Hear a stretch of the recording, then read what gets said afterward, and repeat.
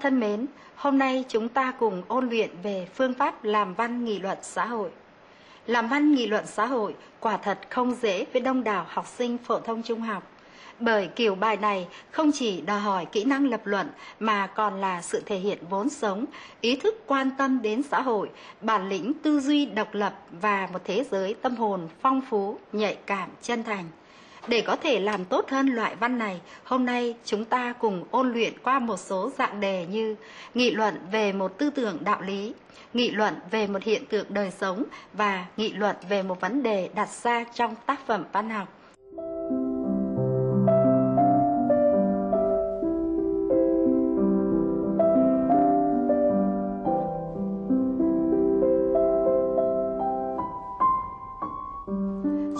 Chúng ta đi vào kiểu bài nghị luận về tư tưởng đạo lý.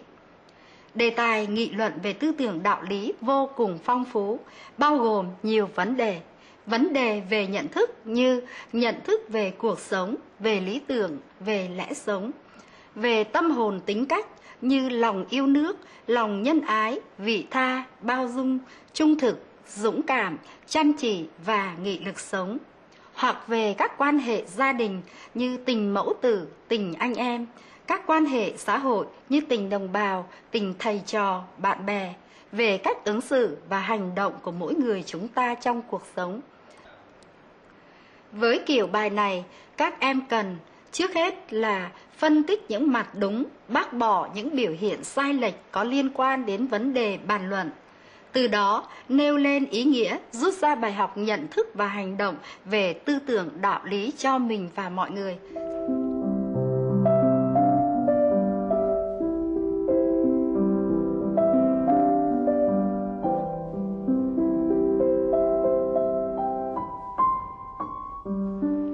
Sau đây, chúng ta vào đề luyện tập số 1 phải chăng đời người cũng như bài thơ, giá trị của nó không phụ thuộc vào số câu mà tùy thuộc vào nội dung.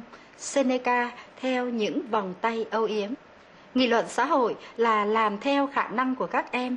Tuy nhiên ở đây cô cũng xin gợi ý một số điểm. Bước thứ nhất chúng ta phải giải thích ý nghĩa của câu nói. Số câu ở đây là độ dài ngắn của một bài thơ còn nội dung chính là tình cảm tư tưởng được gửi gắm trong bài thơ đó. Trong tương quan với đời người, thì số câu chính là những năm tháng sống là tuổi thọ của một con người.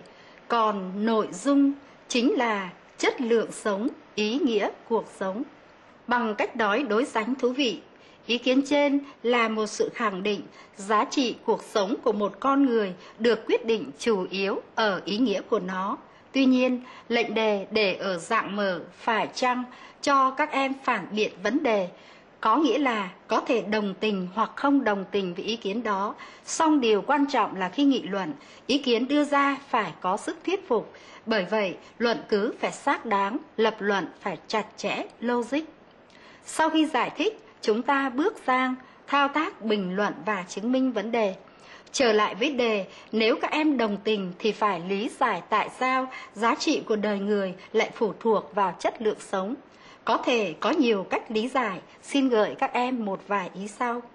Trước hết, chúng ta phải đi từ đề tại sao giá trị của bài thơ lại phụ thuộc vào nội dung. Vì đặc trưng của văn học là nội dung tác phẩm quyết định hình thức tác phẩm hình thức nghệ thuật điêu luyện có thể đem lại những cảm xúc thẩm mỹ ban đầu, nhưng cái động lại làm xúc động sâu sắc lòng người của tác phẩm văn học, trong đó có thơ phải là do nội dung. Nội dung làm người đọc xúc động, tức là do những dung cảm, những tình cảm đẹp mà nhà thơ gửi gắm trong thế giới nghệ thuật ngôn từ đã làm say mê lòng người. Từ những lập luận này, các em có thể tiếp tục lý giải vấn đề trọng tâm của đề là tại sao giá trị của đời người lại phụ thuộc vào chất lượng sống? Sống lâu, sống thọ, có là điều quý giá không? Chúng ta có thể rất dễ dàng khẳng định sống lâu, sống thọ cũng là điều rất quý giá. Con người đã nỗ lực phấn đấu để làm cho cuộc sống mỗi người được kéo dài, được hạnh phúc. Bởi cuộc sống vô cùng tuyệt diệu nhưng nếu chỉ là sống thôi chưa đủ cuộc sống của con người còn cần có ý nghĩa có giá trị Vậy thì cái quyết định giá trị của đời người chính là cách sống, lối sống. Sống thọ hay không còn phụ thuộc vào nhiều yếu tố, nhất là yếu tố tự nhiên. Nhưng cách suy nghĩ, cách sống là do con người quyết định. Mỗi ngày sống cần có ích, cần phải sống sâu nặng với cuộc đời, biết quan tâm, chia sẻ với xung quanh, không thể sống thờ ơ vô cảm, không thể sống buông trôi, buông thả. Con người cần có tâm hồn phong phú và cách sống cao đẹp, không chỉ đem lại hạnh phúc cho mọi người xung quanh, mà còn đem lại hạnh phúc cho chính mình. Ngược lại, sống lâu, sống thọ nhưng vô nghĩa để tâm hồn tàn lụi thì cuộc sống không có giá trị gì cả. Các em có thể chứng minh bằng nhiều tấm gương sống trẻ có ích trong lao động, trong chiến đấu, dù họ không còn nữa nhưng vẫn để lại tiếng thơm cho đời như chị Võ Thị Sáu, anh Lý Tử Trọng hay người anh hùng chống phát xít, người con ưu tú của đất nước Tây Ban Nha Garcia Lorca. Hoặc các em cũng có thể trích dẫn những câu nói nổi tiếng có ý nghĩa tương tự để thuyết phục Ví dụ như câu nói của nhân vật Pavel Kotsagin trong cuốn tiểu thuyết Thép đã tôi thế đấy. Cuộc sống vô cùng cao quý, đời người chỉ sống có một lần, phải sống sao cho khỏi phải xót xa ân hận vì những năm tháng đã sống hoài, sống phí, để khi nhắm mắt xuôi tay, ta có thể nói rằng tất cả đời ta, tất cả sức ta, ta đã hiến dâng cho sự nghiệp cao đẹp nhất trên đời. Và sau khi bình luận, các em cần rút ra những bài học cho mình và mọi người. Chẳng hạn, câu nói này là một lời nhắc nhở mỗi người hãy sống cho có ích, sống cho có ý nghĩa. Và câu nói cũng là bài học tu dưỡng tâm hồn, nhân cách, lẽ sống cho bản thân mỗi người.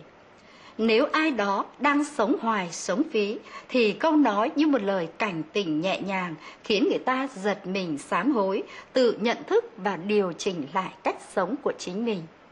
Các em đã luyện tập xong đề thứ nhất, sau đây chúng ta luyện tập sang đề thứ hai.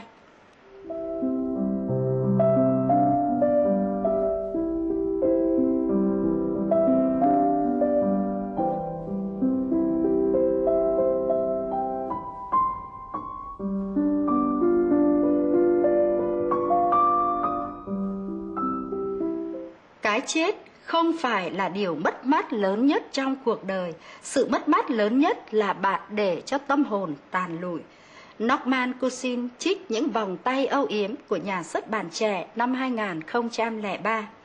Anh chị suy nghĩ như thế nào về quan niệm trên? Xin gợi ý với các em, bước đầu chúng ta cũng phải giải thích ý nghĩa câu nói. Cái chết mà câu nói đề cập ở đây là cái chết về mặt vật chất, thể xác. Còn tâm hồn tàn lụi là cái chết về tinh thần, như không biết thưởng thức vẻ đẹp của thiên nhiên, của cuộc sống, không biết cảm nhận, cảm thông, chia sẻ với những người xung quanh, không biết ước mơ và hy vọng, nhìn cuộc đời bằng con mắt thờ ơ hoặc tù hận, vân vân. Từ những suy nghĩ như thế, dần dần dẫn đến những ý nghĩ đen tối, những hành động sai lầm. Vậy thì đó chính là sự mất mát lớn nhất của một cuộc đời con người. Sau khi giải thích từ ý nghĩa câu nói, chúng ta bình luận và chứng minh vấn đề. Tại sao để tâm hồn tàn lụi lại là mất mát lớn nhất? Vì con người có đời sống tinh thần và vật chất cái chết là điều mất mát rất lớn, nhưng chỉ là mất đi về thể xác theo một quy luật tất yếu.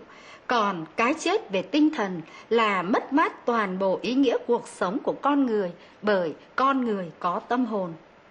Đời sống tâm hồn tàn lụi không chỉ gây tổn hại cho chính bản thân mà còn gây đau khổ cho những người xung quanh, làm cho xã hội, tẻ nhạt, tầm thường, thậm chí nguy hiểm. Ngược lại, người có tâm hồn sống đẹp và thì sẽ trở nên có ý nghĩa với mình, với xã hội và những tấm gương cao quý ấy sẽ bất tử với cuộc đời. Các em sẽ chứng minh bằng những tấm gương đẹp trong lịch sử, trong thực tế và trong văn học. Cách chứng minh này gọi là cách chứng minh phản biện và cũng là một cách để khẳng định lại ý nghĩa của câu nói.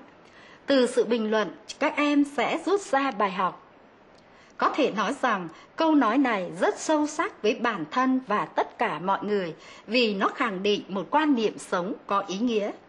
Hơn nữa, chúng ta cần rèn luyện đời sống tâm hồn mọi lúc, mọi nơi, từ những việc nhỏ cho đến những việc lớn để cuộc sống của mỗi chúng ta thật sự có ý nghĩa và có giá trị. Đấy là kiểu bài nghị luận thứ nhất, nghị luận về một vấn đề tư tưởng đạo lý.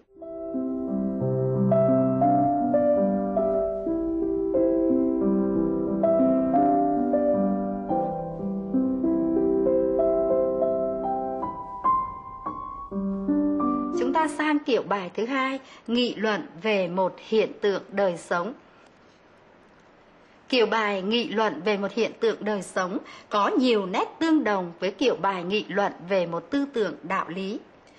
Tuy nhiên, kiểu bài nghị luận về một hiện tượng đời sống cũng có những nét khác biệt.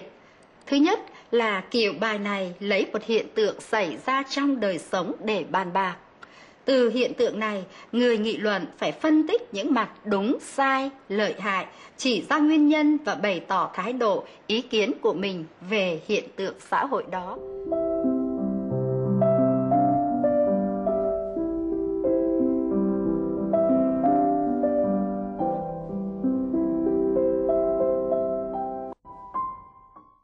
Sau đây, chúng ta rèn luyện về một số đề hiện tượng đời sống. Đề thứ nhất Hiện nay, đông đảo thanh niên và học sinh đều cố gắng thi vào đại học vì cho rằng vào đại học là cách lập thân duy nhất. Phát biểu suy nghĩ của anh chị trước hiện tượng nêu trên. Xin gợi ý với các em. Thực tế, các em thấy đông đảo thanh niên và học sinh chúng ta đều rất cố gắng, nỗ lực để ôn thi vào đại học. Vậy theo các em, vào đại học có là chính đáng không? Chúng ta đều có thể khẳng định được vào đại học mà mình yêu thích là nguyện vọng hết sức chính đáng của đông đảo thanh niên và học sinh ngày nay. Vì sao? Vì đó là môi trường học tập lý tưởng, nơi trang bị cho thanh niên học sinh những kiến thức cơ bản hiện đại để sau khi ra trường họ có khả năng thích ứng với các điều kiện làm việc hơn nữa, học đại học để có một trình độ chuyên môn cao là một con đường lập thân, lập nghiệp, vừa được xã hội tôn trọng, vừa thuận lợi để kiếm sống. Tuy nhiên, vì nhiều lý do khác nhau, khách quan hoặc chủ quan, một số thanh niên sau khi tốt nghiệp phổ thông trung học không có điều kiện theo học đại học. Vậy để lập thân và lập nghiệp, ngoài con đường đại học, họ có thể làm gì? Họ có thể vào học các trường dạy nghề hoặc các trường trung học chuyên nghiệp hoặc tự nâng cao tay nghề trong quá trình trực tiếp lao động. Đây là một con đường lập thân, thiết thực, hữu ích. Người học có thể nhanh chóng có nghề và tìm được việc làm. Hơn nữa, có rất nhiều thanh niên khi chọn con đường này, học đúng nghề phù hợp với bản thân, chuyên tâm rèn luyện, đã trở thành những bàn tay vàng, vừa kiếm sống tốt, vừa được xã hội trọng dụng. Chúng ta đang cố gắng xây dựng một xã hội học tập trên đất nước ta. Và khi đã có một xã hội học tập thì mọi người sẽ cần học suốt đời. Trong xã hội học tập đó, mọi người, đặc biệt là là thanh niên sẽ có nhiều cơ hội tiếp tục học tập để nâng cao trình độ của mình. Tất nhiên, vừa học vừa làm sẽ vô cùng nhọc nhằn vất vả, nhưng đó cũng là một cách nâng cao trình độ một cách chắc chắn, vì kinh nghiệm trong thực tế làm việc sẽ giúp ta hiểu thấu đáo hơn các vấn đề lý thuyết. Ngược lại, những tri thức tiếp thu được trong quá trình học tập sẽ củng cố tay nghề, giúp người học nắm vững các nguyên lý, nguyên tắc lý thuyết để làm việc có hiệu quả hơn. Từ những lập luận trên, chúng ta triển khai thành các ý nhỏ, bàn sâu và kỹ từng luận điểm. Đồng thời, các em phải biết chọn và phân tích các dẫn chứng cụ thể sinh động trong đời sống để bài viết có sự thuyết phục cao. Đồng thời, từ đó các em sẽ rút ra những bài học thiết thực cho bản thân một cách chân thành và hữu ích. Đấy là đề thứ nhất của phương pháp nghị luận một hiện tượng đời sống. Sau đây là đề thứ hai.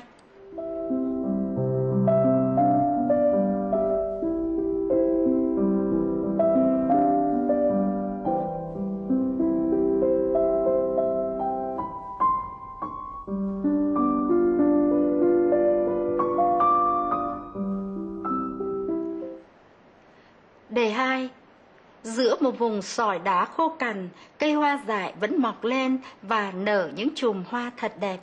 phát biểu suy nghĩ của anh chị được gợi ra từ hiện tượng nêu trên. Sau đây là một số gợi ý. Trước tiên, chúng ta cũng phải giải thích ý nghĩa hiện tượng. Vùng sỏi đá khô cằn là vùng đất bạc màu, đất xấu.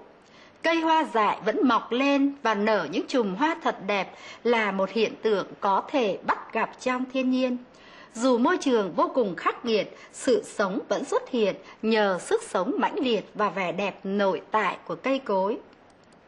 Đây cũng là một cách nói hình ảnh, dù hoàn cảnh sống có khó khăn khốc liệt bao nhiêu, sự sống vẫn xuất hiện, cái đẹp vẫn hiện hữu quanh ta. Khi chúng ta đã nắm bắt được ý nghĩa của hình tượng, chúng ta cũng đi vào bình luận và chứng minh. Tại sao lại có hiện tượng ấy? Tại sao trong hoàn cảnh khắc nghiệt, sự sống và cái đẹp vẫn hiện hữu? Vì đó là một quy luật của thiên nhiên và cuộc sống. Nhưng quy luật ấy chỉ trở thành hiện thực khi con người hoặc cây cối có một sức sống nội tại con người có nghị lực vươn lên để chiến thắng hoàn cảnh, chiến thắng bản thân. Hơn nữa, môi trường sống khắc nghiệt vừa là khó khăn, vừa là thử thách để con người tự khẳng định mình và vững vàng hơn trước phong ba của cuộc sống. Những thành công mà con người đạt được trong nỗ lực có giá trị rất cao vì nó là kết quả của những cố gắng phi thường của sự vươn lên không mệt mỏi vẻ đẹp của mọi cống hiến mọi sự thành công đều quý giá. Nhưng cống hiến và sự thành công của những con người luôn vươn lên nghịch cảnh lại càng có ý nghĩa hơn bởi đó là những chùm hoa thật đẹp những chùm hoa trên đá như cách nói của chế lan viên. Trong thực tế đời sống văn học có rất nhiều những tấm gương nghị lực và cảm động như nhà thơ Nguyễn Đình Chiểu, thầy Nguyễn Ngọc Ký, hoặc công dân trẻ tiêu biểu của thành phố Hồ Chí Minh Lê Thanh Thúy. Các em có thể liên hệ, chọn lọc các dẫn chứng để chứng minh cảm nhận và suy nghĩ của mình thêm sâu sắc. Sau khi bình luận, các em cũng cần phải rút ra bài học cho mình và mọi người. Qua hiện tượng nêu trên, chúng ta thấy những con người sống với vẻ đẹp của ý chí và nghị lực, không chỉ đạt tới thành công cho bản thân họ mà còn luôn là niềm ngưỡng mộ, yêu quý và tự hào của tất cả chúng ta và họ đã trở thành những tấm gương sống đẹp cho xã hội. Những tấm gương ấy đã có sức mạnh động viên rất lớn khi mỗi chúng ta gặp những khó khăn nghịch cảnh trong cuộc đời. Hơn nữa, những tấm gương nghị lực ấy còn có tác dụng cảnh tỉnh những ai chưa biết chấp nhận khó khăn, buông xuôi đầu hàng trước số phận và chúng ta thấy rằng sự sống và cái đẹp vẫn luôn hiện hữu quanh ta. Nói như nhà thơ xuân diệu là, sự sống chẳng bao giờ chán nản. Từ hiện tượng trên, chúng ta thấy cần có niềm tin vào cuộc sống để mỗi phút giây sống đều có ý nghĩa, có nhiệt huyết vươn lên. Đây là hai đề để chúng ta rèn luyện về văn, nghị luận về một hiện tượng đời sống. Sau đây, chúng ta sang dạng đề thứ ba nghị luận về một vấn đề trong tác phẩm văn học.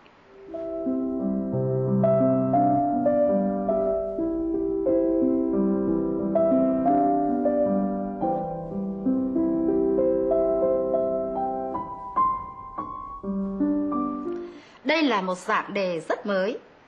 Xin được nói kỹ hơn ở hai dạng đề trên. Dạng đề này vừa nhằm rèn luyện đồng thời năng lực đọc hiểu văn bản và năng lực làm văn nghị luận xã hội. Đặc điểm của dạng đề này là dựa vào một vấn đề xã hội có ý nghĩa sâu sắc nào đó đặt ra trong tác phẩm văn học, rồi phát biểu, bàn luận về ý nghĩa của vấn đề đó. Vấn đề xã hội có ý nghĩa có thể lấy từ hai nguồn văn học. Thứ nhất là tác phẩm văn học đã được học trong chương trình, hoặc một, từ một câu chuyện nhỏ, một văn bản văn học ngắn gọn chúng ta chưa được học nhiều người nhầm dạng đề này là đề nghị luận văn học vì đề thực tế có liên quan đến tác phẩm văn học nó liên quan và xuất phát từ tác phẩm văn học, nhưng tác phẩm chỉ là cái cớ khởi đầu. Mục đích chính của dạng đề này vẫn là yêu cầu người viết bàn bạc nghị luận về một vấn đề tư tưởng, đạo lý, nhân sinh, nghĩa là nhân vấn đề đặt ra trong tác phẩm đó mà bàn luận kiến giải.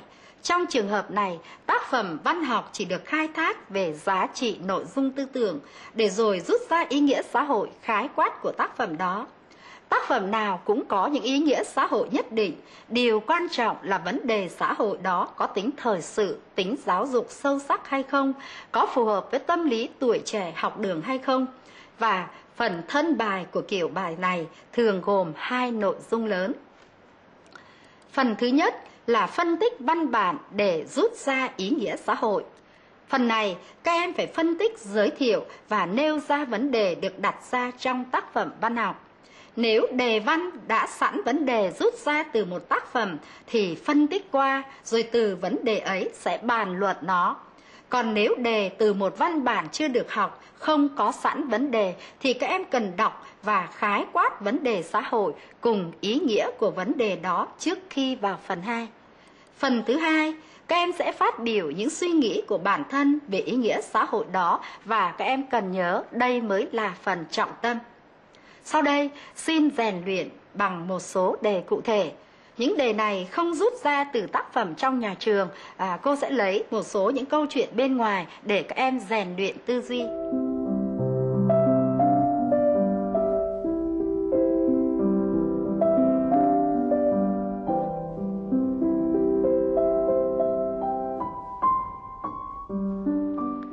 Đề 1. Hai biển hồ Người ta bảo ở Palestine có hai biển hồ, biển hồ thứ nhất gọi là biển chết, đúng như tên gọi, không có sự sống nào bên trong cũng như xung quanh biển hồ này. Nước trong hồ không có một loài cá nào có thể sống nổi mà người uống phải cũng bị bệnh.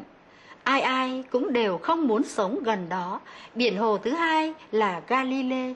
Đây là biển hồ thu hút nhiều khách du lịch nhất, Nước ở biển hồ lúc nào cũng trong xanh, mát rượi, con người có thể uống được mà cá cũng sống được. Nhà cửa được xây cất rất nhiều nơi đây, vườn cây xung quanh tươi tốt nhờ nguồn nước này. Nhưng điều kỳ lạ là cả hai biển hồ đều được đón nhận nguồn nước từ sông Jordan. Nước sông Jordan chảy vào biển chết, biển chết đón nhận và giữ lại riêng cho mình mà không chia sẻ, nên nước trong biển chết trở nên mặn chát. Biển hồ Galilee cũng đón nhận nguồn nước từ sông Jordan, rồi từ đó tràn qua các hồ nhỏ và sông lạch. Nhờ vậy, nước trong biển hồ này luôn sạch và mang lại sự sống cho cây cối, muông thú và con người một định lý trong cuộc sống mà ai cũng đồng tình. Một ánh lửa chia sẻ là ánh lửa lan tỏa. Một đồng tiền kinh doanh là một đồng tiền sinh lợi đôi môi hé mở mới thu nhận được nụ cười. Bàn tay có mở rộng trao ban, tâm hồn mới tràn ngập vui sướng.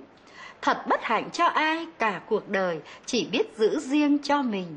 Sự sống trong họ rồi cũng sẽ chết dần, chết mòn, như nước trong lòng biển chết trích từ cuốn Bài học làm người của nhà xuất bản giáo dục. Câu chuyện hai biển hồ đã cho anh chị bài học ý nghĩa nào trong cuộc sống? Các em có thể bằng những suy nghĩ và tư duy của mình để xây dựng các luận điểm. Sau đây là một số gợi ý. Trước tiên, các em cần phân tích câu chuyện để rút ra ý nghĩa, nghĩa cụ thể Biển chết là do vị trí hồ không thuận lợi, xung quanh không có kênh rạch hay lối thoát, nên nước thượng nguồn đổ về bị ứ, dần dần tích tụ lượng muối lớn, làm cho đồng độ muối trong nước quá cao, quá mặn, không sinh vật nào sống được, dẫn đến hoang vu thiếu sự sống. Ngược lại, biển hồ Galilee cũng đón nhận một nguồn nước từ sông Jordan, nhưng từ đó nước tràn qua các hồ nhỏ và sông lạch xung quanh. Nhờ vậy, nước trong biển hồ này luôn sạch và mang lại sự sống cho cây cối, muông thú và con người. Nghĩa biểu tượng là trong cuộc sống hàng ngày, con người có những mối quan hệ, những giao tiếp, những sinh hoạt với mọi người xung quanh xã hội sẽ tồn tại, cuộc sống của mỗi người được duy trì chính là nhờ quá trình giao tiếp này. Từ việc rút ra ý nghĩa, các em sẽ phát biểu suy nghĩ về bài học. câu chuyện đã đem đến một bài học thật ý nghĩa trong cuộc sống, bài học về cho và nhận. Xã hội sẽ không tồn tại nếu thiếu quá trình giao tiếp này.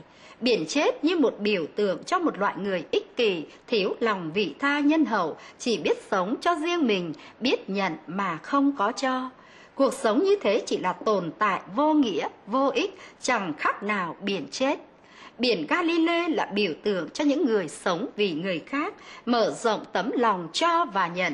Nhờ thế, luôn được sống một cuộc sống có ý nghĩa, chan hòa và có ích với xung quanh.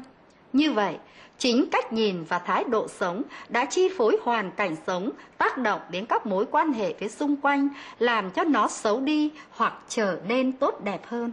Chúng ta cũng cần lấy những dẫn chứng trong thực tế để phân tích, so sánh, đối chiếu hai thái độ sống đó. Từ cơ sở đó, các em rút ra bài học, cuộc sống cần có sự đồng cảm chia sẻ, có cho và nhận.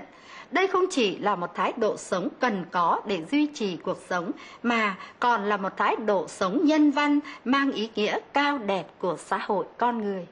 Chúng ta chuyển sang luyện tập ở đề thứ hai.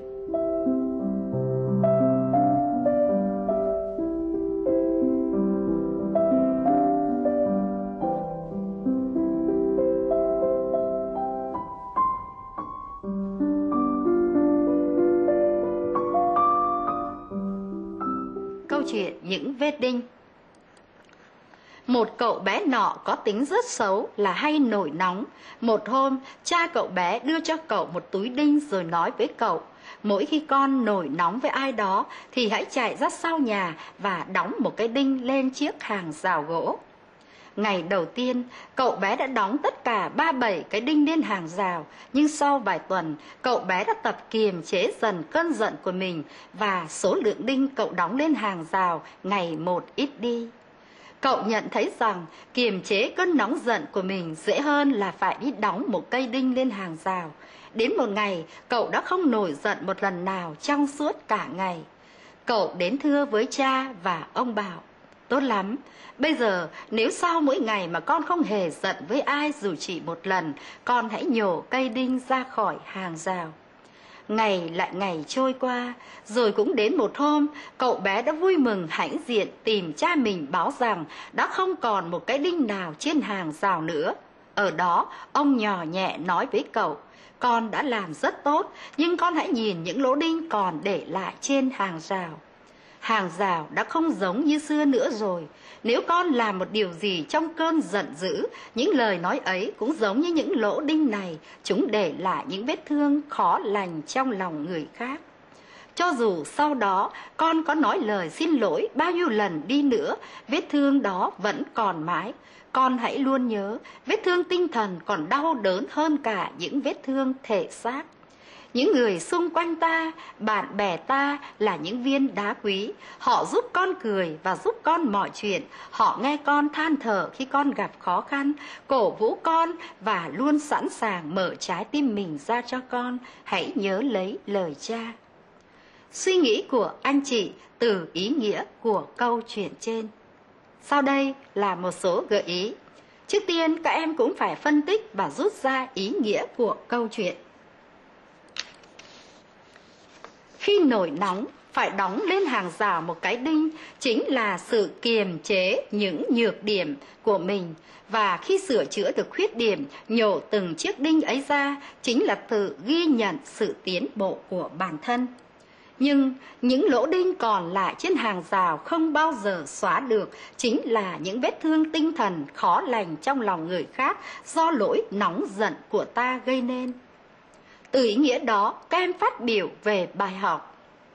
Câu chuyện tuy nhỏ nhưng có ý nghĩa sâu sắc bởi vết thương tinh thần còn đau đớn hơn vết thương thể xác.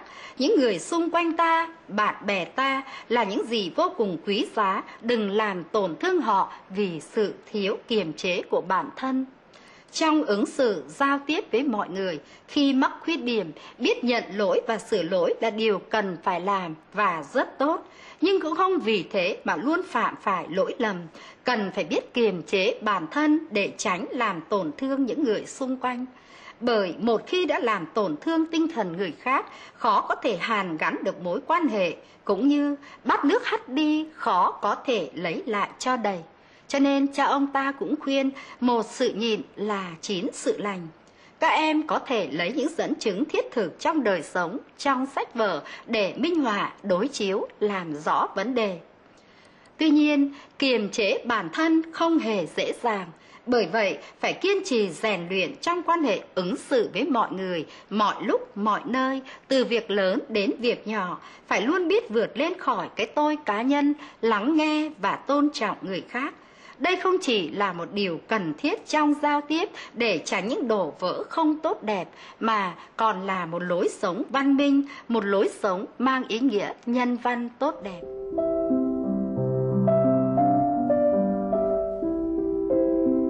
Các em thân mến, làm văn nghị luận xã hội không chỉ là thực hành một bài học, mà điều quan trọng là khi viết bài, các em đã tự mình nhận thức, suy nghĩ và rút ra những bài học bổ ích cho bản thân. Các vấn đề nghị luận xã hội vừa phong phú, sâu sắc, vừa gần gũi, bình dị quanh ta. Các em sẽ thấy thú vị khi chịu khó quan sát và suy nghĩ trong bề những điều bình dị ấy. Chúc các em thành công!